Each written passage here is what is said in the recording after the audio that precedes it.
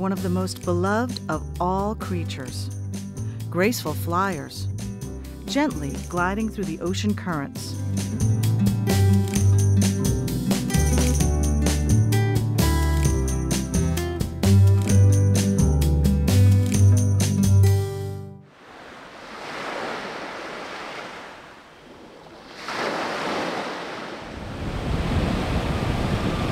Driving down the beach on an ATV.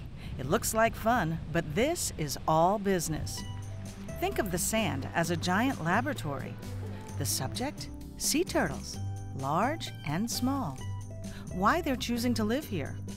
The unique way South Florida's climate affects their gender. And some of their biggest threats from both people and nature. South Florida is known for its beautiful beaches, its clear blue water, and plenty of sunshine. It's also home to some pretty amazing creatures, endangered sea turtles. Hi, I'm Kate Wentley. Join us as we explore the life cycle, the challenges, and triumphs of this endangered species. This nine and a half mile stretch of coastline is the prime nesting ground for three different species of them. In fact, this area is considered the most densely nested site in the world for loggerhead sea turtles. It's also one of the most popular nesting sites for several other species as well.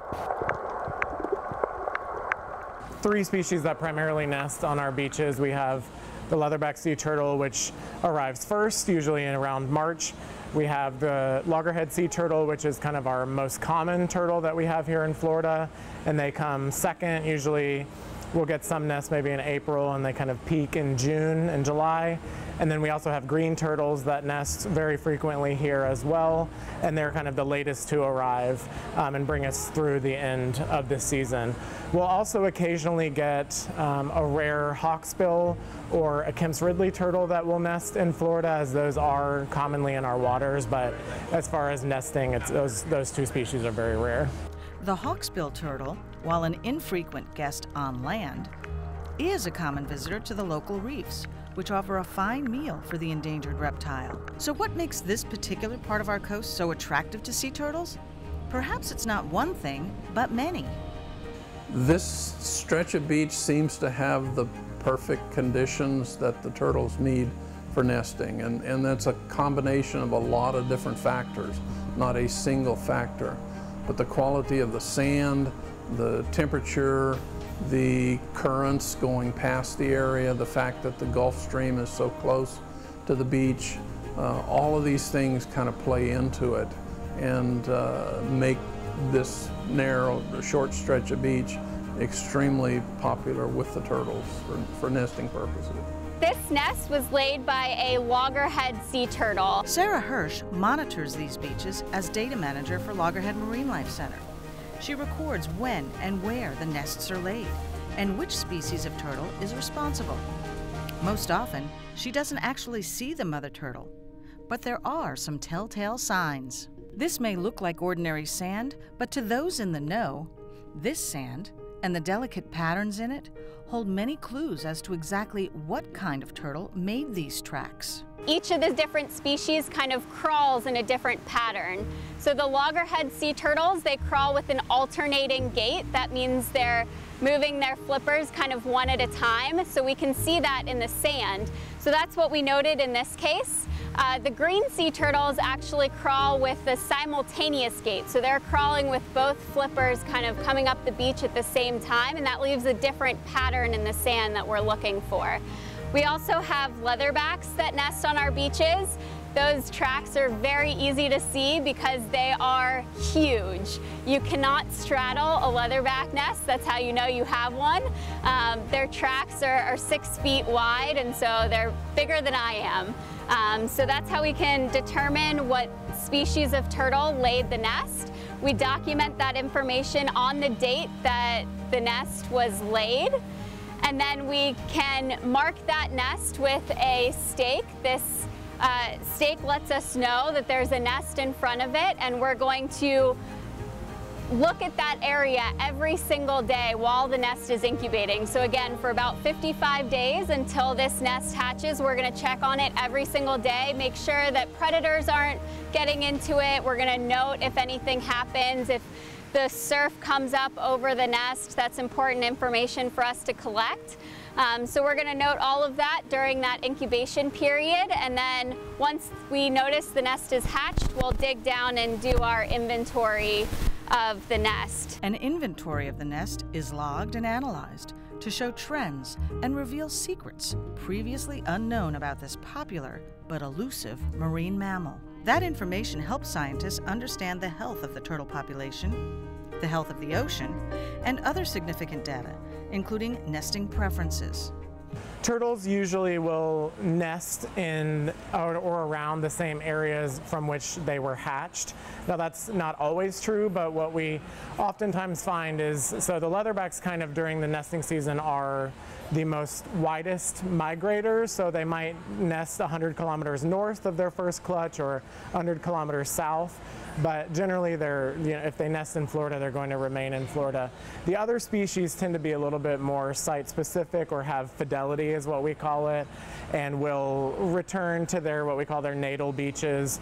For the most part, that's not always 100% true, but we do have evidence of, on our beaches here, of mothers and sisters and daughters um, of some species on our beach.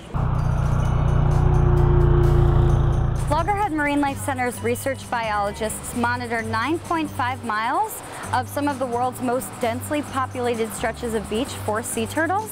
So we monitor from the northern Palm Beach County line south to the northern line of John D. MacArthur Beach State Park.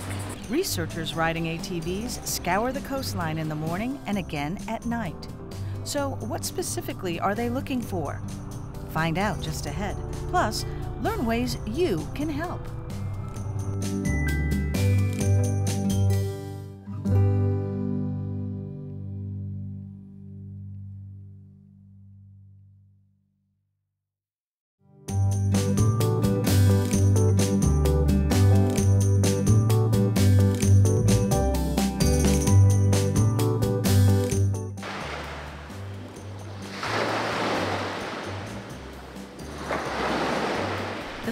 Heats up the sand, providing a natural incubator for sea turtle eggs, which take anywhere from 45 to 80 days to hatch, depending on the species of the turtle. Sea turtles typically hatch out at night. That includes these baby leatherbacks, which we came across during one of our late night walks with the biologists. Sea turtles, when they hatch, the little hatchlings uh, orient themselves towards the brightest light on the horizon. Naturally, that would be the moon. Um, however, uh, with, of course, the buildup of coastal communities, with all of us also enjoying the beach, there is light pollution. So during nesting season, uh, at Loggerhead, we encourage people turn down your lights or dim your lights with sea turtle safe lighting, which helps the hatchlings and of course the nesting females as well to not get um, as disoriented when they're nesting or when they're hatching and they can orient themselves towards the ocean where they should be. You've probably heard the slogan Lights Out for Sea Turtles. It's one of many rules aimed at protecting these endangered species. Signs like this one remind people to avoid females as they come ashore to nest, as well as the nests they leave behind. Now, once those eggs hatch, it's time for the pros to excavate and find out exactly how successful those nests really are. So we actually have two different ways that we make sure we know exactly where this nest is. First of all, we take a sub-meter GPS point of all of our crawls on the beach so that we can get back to this location if for whatever reason we lose the nest stake. We also have a backup nest stake that's left in the dunes and we have measurements to that stake. So we have a compass bearing and a uh, measured distance to that backup stake that's in the dunes and that can get us back to this same location as well. So how do experts know where to look and what to look for? The way we kind of survey in the morning, our first run down the beach, we're looking for all the new adult tracks that are left in the sand. So we're driving down the beach, we're looking for, again, it kind of looks like almost tire tracks coming up the beach. So we're looking for those, documenting all of that. And then as we're riding back down the beach on our way back to the office, we're checking on all of the existing nests. So we have a great sheet of paper that prints out a list of all of our nests that we have on the beach and we're checking off each of those nests and making sure that we're monitoring those sites every single day.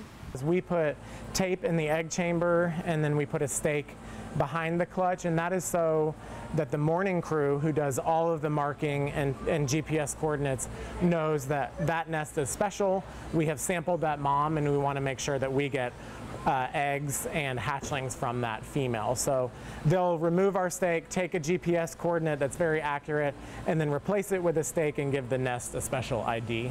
It's not only important that researchers learn how healthy the nests are, they are also studying the mother turtles to learn how often they come ashore to nest. We've done a lot of previous studies um, and a lot of different organizations have, have done studies to figure out how many nests these females are laying in a season. So one of the ways we can do that is by putting a satellite transmitter on the back of a turtle. So if we can encounter that female at the very beginning of the season and put a satellite transmitter on her, we can actually follow her movements throughout the nesting season. And through those studies, we've uh, figured out that sea turtles come back three to seven times in a season to lay nests. They come back about every 10 days to 14 days to lay a new clutch of eggs. When you see a nesting turtle on the beach, you should never approach it. They are protected uh, both federally and locally in our state. And so approaching a turtle is never a good thing because you could scare them. So if you do see a nesting turtle, you should only use red lights and you should stay maybe 10 to 20 feet back to make sure that you don't disturb her and also stay behind her. If she sees you, you can oftentimes spook them and then they'll leave and they won't lay their eggs. Um, so when we, what you saw on camera is when we were sampling, turtles undergo what we call this trance and what happens is their fight or flight hormone that many of us are familiar with is really decreased during the egg laying process. And so they don't have that trigger in their head that says to get out. So they don't have kind of that fear that might happen if they're being chased by a predator. And so that's usually when we collect our samples is when the turtle's laying eggs is because they are undergoing that, that trance. Once she finishes laying her eggs, the turtle comes out of the trance and heads back to the ocean the turtle's every move noticed by researchers. We use science every day by collecting data. We use technology to enter our data into the, the computer. Engineering is important, obviously, for a lot of the equipment that we use, and mathematical modeling is used all the time in the field of, of sea turtle biology. And you know, other important things is, is you know, just general reading and writing. We read and we write intensely every single day in this field. So those are really important things to, to be good at as well. Learning science, technology, engineering, and math is helpful. So too is learning a few simple ways you can help clear the path of adult turtles and hatchlings alike. Simple things that kids can do, anybody really can do to protect nesting sea turtles and the hatchlings is, you know, pick up trash if you're on the beach. If you build a sandcastle, that's great. Just make sure to knock it down when you're done because those can become a barrier for sea turtle hatchlings. So if they're trying to make their way to the ocean and they can't get past your sandcastle, that can be a problem. So make sure to do that. And then of course, uh, if you see any holes, be sure to fill those in on the beach. Those can also obstruct. So those are just a few things you can do. With a tough shell and a sharp beak, you may think sea turtles are pretty safe. But are they?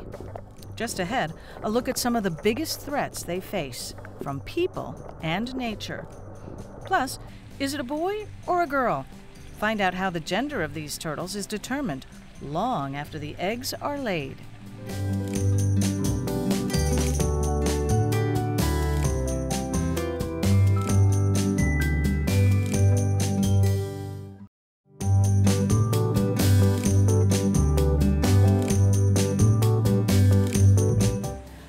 Sea turtles have a hard outer shell for protection, but that's not the case for these little guys.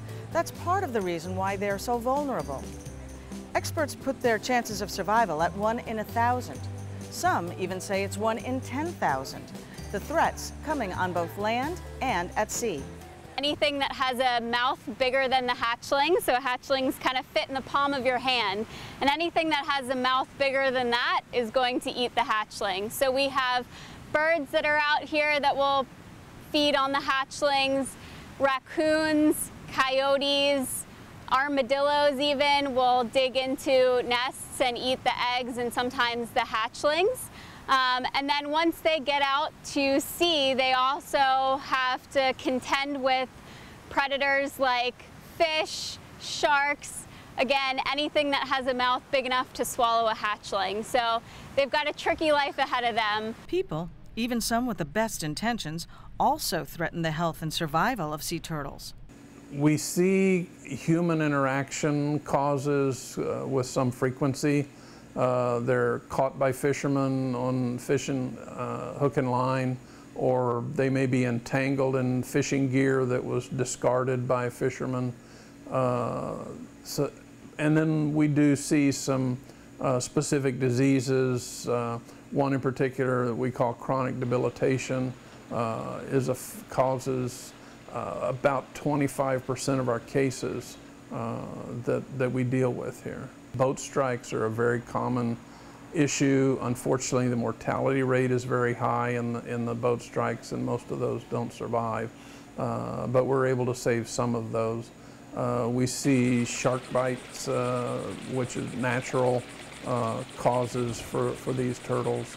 Uh, we, we see a variety of things, but there are, are several of the things that occur more frequently than others. The Loggerhead Marine Life Center specializes in rescuing and rehabilitating turtles that need a special brand of care. We take in sick and injured sea turtles uh, from all around the area, as well as from other areas, from other states sometimes, uh, to try to make them healthy and return them back to the wild.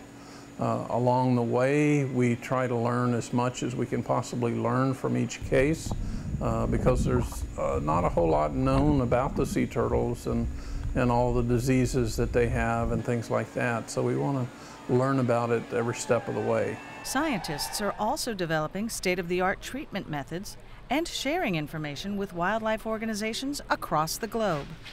Work on determining the best treatment options for many of these cases and in, in some cases, this turns out to be something that is beneficial uh, not just to sea turtles but to other species.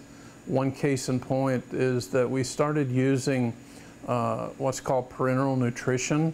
It's basically feeding the turtles intravenously uh, for the turtles that are sick and their intestines aren't working and so forth. And uh, we found a way to be able to do that with sea turtles. Uh, it's already done in humans and some other animals, but it had to be done a special way uh, with sea turtles because they live in the water. And uh, that information has now been uh, disseminated. I've done presentations in uh, Argentina and in Australia relating to that, and now there are people all around the world. I just had an email from China uh, a week or so ago from a, a, veterinarian asking questions relating to how to use parenteral nutrition uh, there. And I know in South America it's being used in, in penguins as well. So uh, we're, we're looking to help all the animals, uh, all the sea turtles of the world, as well as any other animals we can help along the way.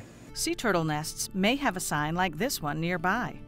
It reminds people that it is against the law to disturb or touch a sea turtle or its nest.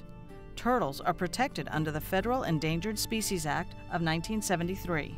Storms are also a big factor. We just had a hurricane form off, you know, close to Africa that we'll be monitoring closely. And if that does bring in some pretty inclement weather, we can see a lot of nests that get washed out because as the water comes very high on the beach, the eggs can become exposed and will roll around. And once that kind of happens, the embryos are no longer viable. So they're, you know, they're, they're really sub subject to a number of, of factors. The climate in South Florida is a big factor in determining if the sea turtle hatchlings will be male or female. Many reptiles have what we call temperature dependent sex determination, where the temperature of the nest that they were incubated in determines the sex of the offspring. So they don't have sex chromosomes like mammals do, like you and I. And so what happens is usually in turtles, what we say is hot girls, cool guys is kind of an easy way to remember it. And that's not true for all reptiles, but so we say hot girls, cool guys. So warmer nests tend to produce females and cooler nests will tend to produce males. And so here in Florida, because it is very warm, we do see a very high female bias in the hatchlings that we have on our beaches. Generally, the, the bottom of the nest is, is cooler, it's closer to the water table, and so you might get some males that are produced in the bottom and females that might be produced near the top or in the middle where there's a lot of heat. Last year we did note that we had a very hot and dry summer and that led to a decrease in the hatch and emergence success for our nests. It was actually a drop of uh, 10 to 20 percent which was a little discouraging.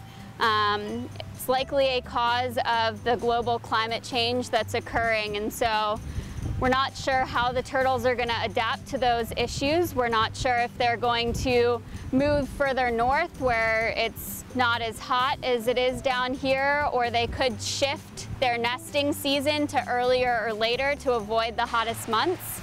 Um, or we could have years like this year where we've had a little bit more rain, which kind of tempers the, the sand temperatures and allows for better hatch success of the nests. So this is very encouraging for us to see. Factors which can have a lasting impact on the local sea turtle population.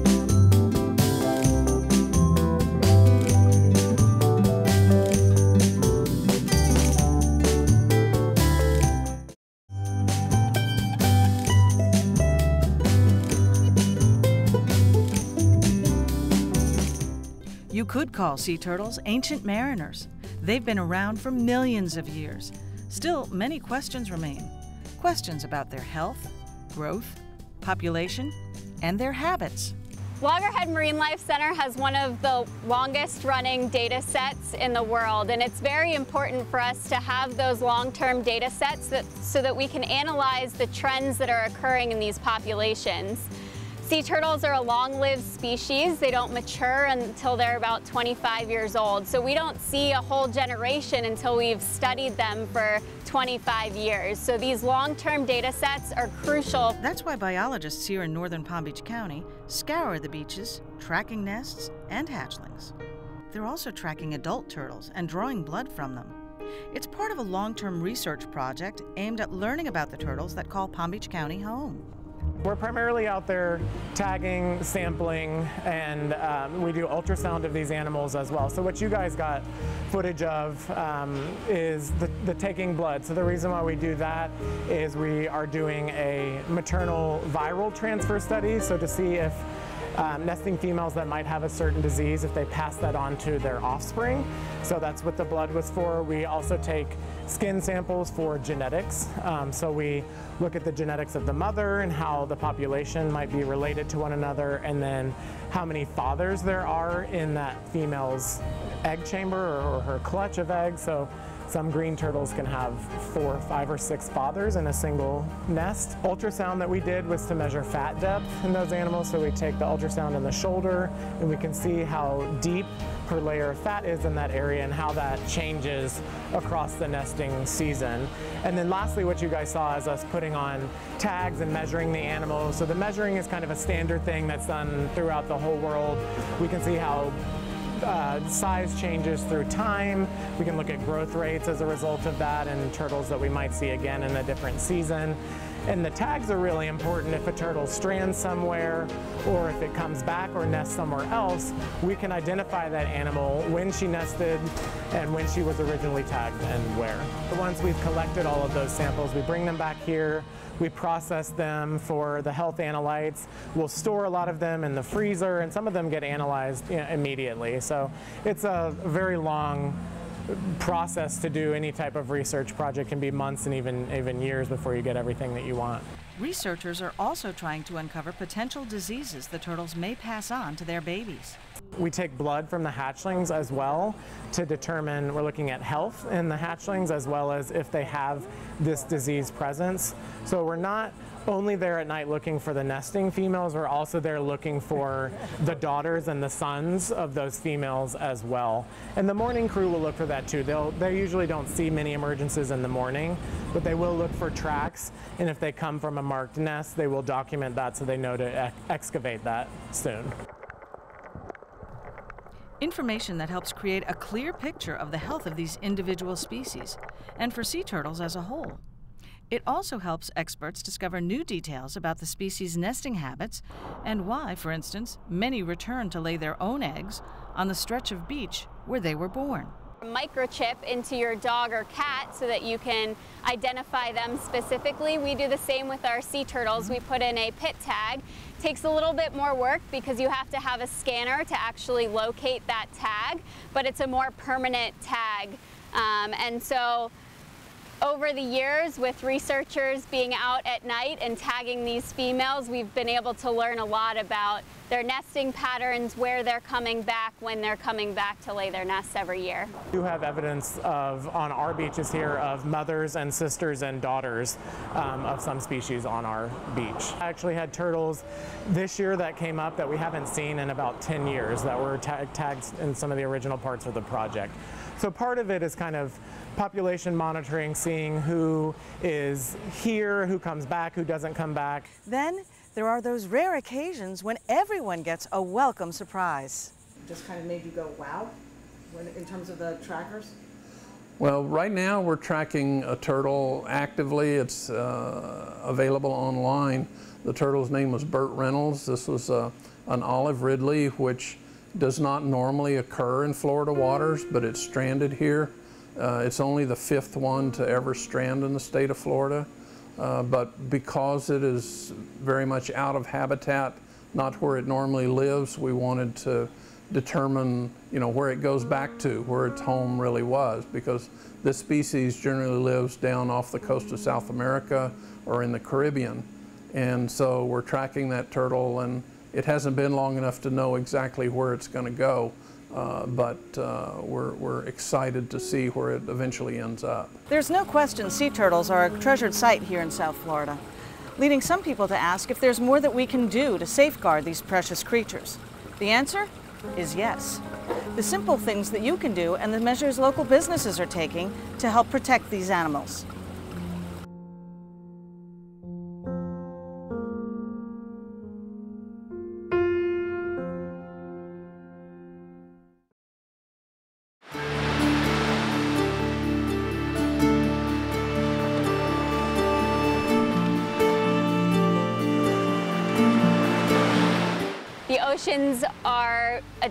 Telltale sign of what's going on on our planet. The oceans and our beaches are littered with dangerous debris, especially plastic. So one of the biggest threats to our sea turtles is actually humans and the impacts that we're causing. And this right here is a great example. Single-use plastic, including plastic straws, are very destructive to our environment and actually harm our sea turtle population. We had over 600 hatchlings that came into our hospital last year, and every single one of those hatchlings and post-hatchlings had plastics in their gut. So the single most important thing that people can do on an everyday basis to help our sea turtle population is to make sure they're reducing their use of single-use plastic, especially straws. Just say no to straws when you go to the restaurant. Tell the waiter that you don't need a straw and you can help save sea turtles by that one simple act. Many restaurants are no longer offering straws, opting to protect sea turtles from the threat of microplastics or tiny pieces that result when the plastic breaks down. These small pieces often end up in the ocean, adding to the problem of pollution. It's easy for a sea turtle to mistake a plastic bag or a deflated balloon for a jellyfish, which they love to eat. Sea turtles eat a number of different things and it depends on the animal that you're talking about. So leatherback turtles eat jellyfish, so they can eat up to a thousand pounds of jellyfish in a single day, and that's the primary source of their diet. So they're really, really what we call specialists. They forage mostly on these kind of gelatinous animals. Um, green turtles are herbivorous, meaning that they eat the plants um, as adults. And so the reason why they get their name is they eat so many plants that it turns their fat kind of a yellowish green color. And so that, and due to the, the vegetation, and loggerheads eat kind of hard-shelled species, so like crabs, um, lobsters, snails, things like that. So they have really powerful jaws that help them specialize on that. And some of the other cool species, uh, the hawksbill sea turtle actually eats sponges and coral as a primary portion of its diet. Sea turtles are often spotted floating on top of the ocean but they can quickly dive to avoid boaters and curious onlookers. A turtle can hold its breath for a very long time and it depends on how active the turtle is. So if the turtle is kind of resting on the bottom, it can hold its breath for hours. And if the turtle is very active in swimming, it might only hold its breath for maybe 5 to 15 minutes. And it's very similar to us in a pool. So if you try to hold your breath in a pool and if you just float at the surface, you can hold your breath a lot longer than if you're actively swimming. So it, you know, it's very similar among the species. They're just much better at holding their breath than we are. Interesting facts about a fascinating reptile. The mission of Loggerhead Marine Life Center is to promote the conservation of ocean ecosystems with a special focus on threatened and endangered sea turtles. So what does it take to make a career out of working along the beach with animals you love? The veterinary career is, is an interesting career because there are many different avenues uh, that, that people can pursue. Uh, the normal traditional ones of dog and cat or horse and cow veterinarian uh, are certainly there, but there are a lot of other ones. There are wildlife veterinarians, there are aquatic veterinarians such as myself. Uh, there are a lot of different avenues that can be pursued. Uh, research can be a big part of it as well. Uh, so there's many different options, uh, not just to, to be the normal, typical dog and cat vet. So if you're thinking about a career in marine biology, I would say to get involved as early as you can. We have high school internships that are available and internships and even jobs, seasonal jobs that are available all throughout uh, your college career as well. And those are very important early steps in getting your feet in the door for, for really getting a career going in this field. What I like best is, is being able to help these animals that uh, would have died had we not intervened and, and helped them out. Uh, it's a very rewarding thing uh, to be able to release them back into the wild when, uh, when their uh, destiny didn't look like that was going to be a part of it is, is what is, is most satisfying for me. Sea turtles are treasured neighbors along Florida's coastline, and like all living creatures, they play a vital role in our ecosystem.